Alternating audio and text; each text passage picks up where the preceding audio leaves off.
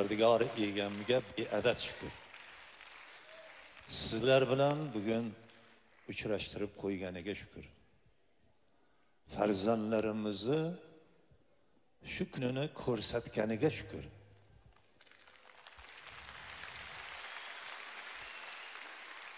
Iloyim hangizni o'g'il qizlaringiz farzandlaringiz shu sizlar xohlagan darajadagi pokiza insonlar bo'lsin?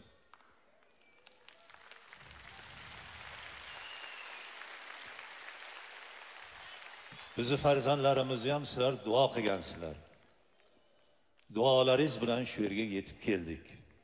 Iloyim bundan buyog'iga ham shu farzandlarimiz sizlarni eng yaxshi ko'rgan xizmatkoringlar eng yaxshi ko'rgan hofizlaringlar eng yaxshi ko'rgan o'g'lonlaringlar bo'lsin. Shuni qatorida hammangizni o'g'il qizlaringlarni to'ylarida biz xizmatda bo'laylik. Omon bo'linglar. Sog' bo'linglar. Sog' bo'linglar. Sog' bo'ling ustoz tashakkur barakalloh hali ko'p xizmatinglarni qilamiz. Ish ko'p bu yoqda ish ko'p. Albatta. Rahmat.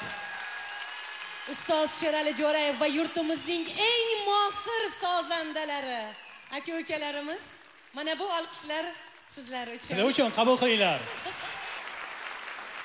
dillarga xush yoquvchi taronalar taqdimoti davom etadi. Biz sahnaga yana zohir shoh jo'rayevni taklif etamiz. Marhamat.